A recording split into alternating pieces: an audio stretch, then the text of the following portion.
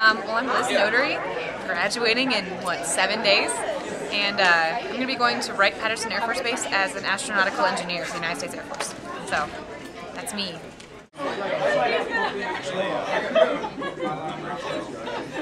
Graduating students breakfast for um, May, August, and December graduates of the College of Engineering and Applied Science, and it's just a chance for students to take a break um, during finals, as they start finals and um, just celebrate, um, hang out with faculty and staff, and um, just our opportunity to say congratulations to them. Is this a new event? Um, it was new last year. This is actually our second year doing the event, and it was a success last year, and um, so we decided to try and make it a tradition here in the college. I found my final. So,